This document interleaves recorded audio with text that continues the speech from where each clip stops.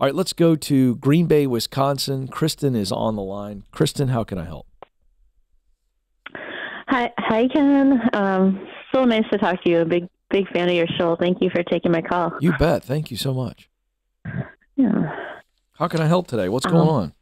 Yeah. So okay, I, I, I love Christmas, and I am a always have loved Christmas. But it, the last um, three, four years in a row, I've had like kind of a, a lot of bad luck around Christmas time, and it's, oh, it's causing me to have a, you know, question my life choices here. So, um, so a quick story. I, I lost my, you know, my parents right around Christmas time. My mom most recently. Oh no. Um, yeah, just kind of, you know, young, both unexpected, just heart attacks, and you know, it is what it is. But uh, it makes this time, uh, you know, like for many others, hard. sure.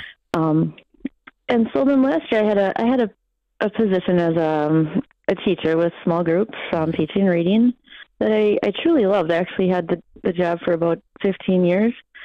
Um, but due to taking way too many sick days because I was grieving my mom, we were really close. Um, anyway, I lost the position of um, right around Christmas time last year. Oh, I'm so sorry. Hmm. Was this around the same time as your mother passing, or is this a different Christmas? This was last Christmas. So my mother passed, and then I lost my job. Oh, all in year. the same year. Oh yeah, it was a double whammy. How far apart Um, were the two? Your mom passing, and then you Uh, my mom, yeah, my mom passed in February, and um, then I lost my job right around Christmas. Okay, so, gotcha. Um, Okay, yeah. okay. What what And was so the then I- reason for losing your job? Did they give you one? Uh, honestly, it was too many sick days, and not a. You know, I should have. Looking back, I should have taken like a leave of absence just to um, deal with things, and uh, you know, I took too many days just to go see a grief counselor and Gotcha. and whatnot like that. Okay, Yeah. okay. Um, so then, yeah, so then I jumped back into the, the classroom. I'd been working with small groups, and I jumped into the classroom in a in a small district. I was working in a, a larger district before, and I tell you that was that was a wake up call. Um, these, I I'm kind of a more of a, a quieter person, and you know I love working with kids. That's that is a passion of mine. But when you have 18, 19 first graders that are throwing chairs and you know biting people ripping down bulletin boards and i tell you there wasn't a lot of support at this place and um it Hmm. just came to the point where it was too much um so just last monday uh, they just said you know you obviously you can't handle these behaviors um we'd like you to resign and it was devastating i'm like here we go again So two years in a row in December, you've lost your job. yes, yes, it's Yeah. lovely, and no, and I have small, you know, I have a family and bills to pay, and Christmas presents are not looking good, and it it, Hmm. it honestly really sucks. I know it does. It does. yeah, yeah. So so lot going on. How can I best help Yeah. you today? Like what's that thing that I can dive into to to to try to encourage and equip you to move forward? What what what do I, what can I help with? Um, just I know you're super good at like motivating people to figure out what they want to do, and honestly, I I know for sure I cannot go back to a classroom teaching job. Yeah. Um, I need to find something I can do with my degrees and my abilities. Um, What are you best at? What are you be, What are you best at doing? Like, let's just say you and I are hanging out in the kitchen. I've got your husband, family, friends, parent. I mean, uh, not your parents. I'm sorry, uh, but we've got everybody sitting around you that know you. And I Yeah, go, um, hey, what is Kristen really good at doing? And what are they going to say? Um, uh, pro- you know, probably say like having fun with not having fun, but like I love teaching kids like in small groups, and I I also have horses, so I love being with my horses and riding and teaching people about horses and All right, now we're getting somewhere because you've kind of flip flop back and forth between what you love to do. And I wanted to know what people would say Kristen Oh, is most say? talented at doing. So would they say she's really good at instructing people and te- teaching people? What would they say? They would go, Kristen's really good at, what would they say?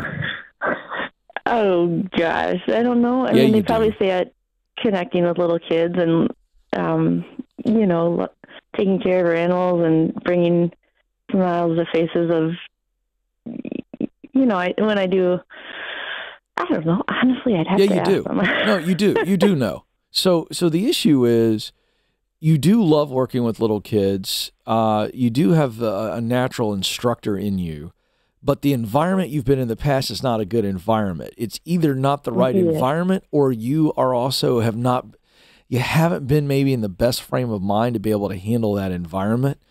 And I don't have the tools, but yeah, the tools. what do you mean by the tools?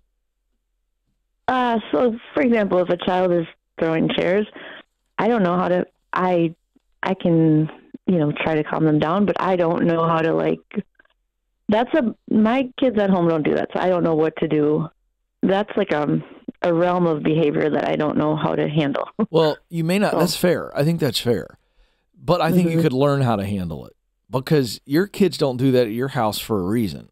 Well, why do your kids Mhm. not throw chairs at each other at your house? They're too busy having fun. I don't know. There's nothing to get so mad about. Right. But then you're in a Um, but you're in a we have a public school house. environment. What are kids how is it getting out of control that quickly?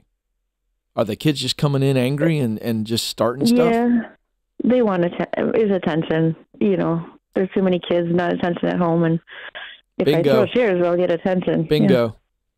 So Yeah. we have to figure out. I've got two options here. Either I start instructing and caring for, because what you enjoy doing with kids, I would suggest to you, you would enjoy doing with adults. Yeah. So I think one option is I'm going to go instruct, teach, guide, encourage, mentor, whatever, people who actually want to be there and who aren't going to have Yeah. behavioral issues. That's one option. Or the Mhm. other option is is I work on myself a little bit and I get to the point where I go, you know what? I'm a mom. I'm a good mom. I'm actually Mhm. a productive adult. Mhm. And Right. I, I actually Okay. understand why the kid is coming in acting that way.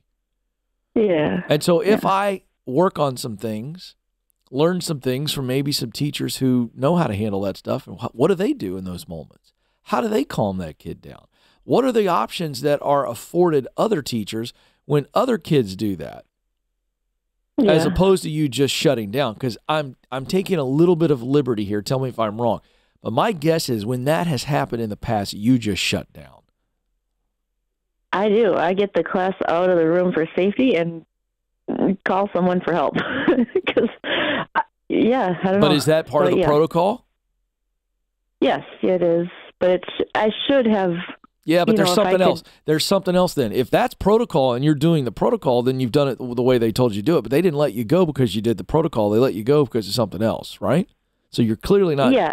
What is it that, that It you was- weren't doing? Well, it's like the minor daily classroom management, like kids calling out whenever they want to. You know. You know why? um, Because you don't have control of the classroom. That's exactly right. Because I don't like. I'm not a controlling person. I want to I just get it. I get it. learn and have fun and like. I get it. I get it. But what I'm trying to present you with is you have a couple of options. yeah. You just go, you know what? That environment is not right for me. And not only is that environment not right for me, it's not a natural fit for me. I'm not interested in doing what it takes to become equipped to then be able to handle that.